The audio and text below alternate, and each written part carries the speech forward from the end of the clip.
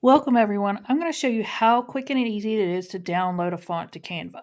So I'm in Creative Fabrica. The first thing I want to do is pick out a font I want to use. I want to download this chalk.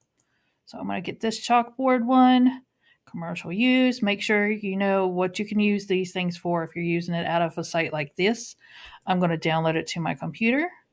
And once it's downloaded, I'm going to head over now to my downloads. Let's go into my downloads.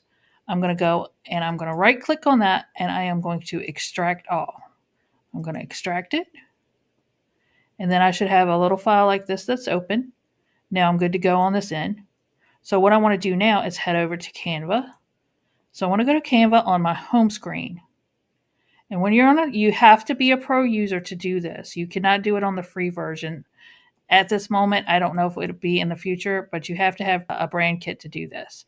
So I just have a random brand kit that I use. So what I'm going to do, you're going to go down to the font section and you go manage upload font. So what I'm going to do is click down here on that. I am going to go to this icon right here, add new, add new. I am going to go into my downloads.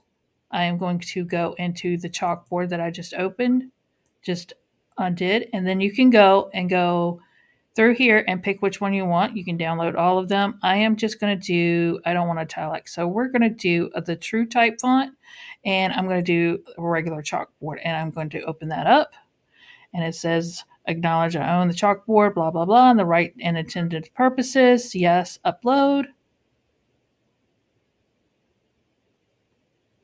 And as you can see, the chalkboard is in there, so I can close that out.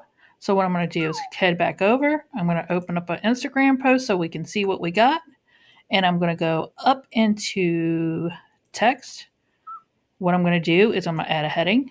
I'm going to go to the top. I'm going to click oh, my fonts. And then I'm going to go, if you look here, you can go all the way down here. There'll be a little section that says uploaded fonts.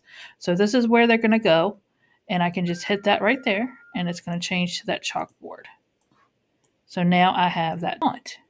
And that's how easy that is. And I can go in here and I can change the color of that and all good to go. And you can do the, everything that you need to do. If you need the shadow, we don't want that color shadow. You can do a shadow. You can do the, the glow. You can do everything that you need to do as you would do with any kind of font inside of Canva. So, and that's how easy it is just to upload it.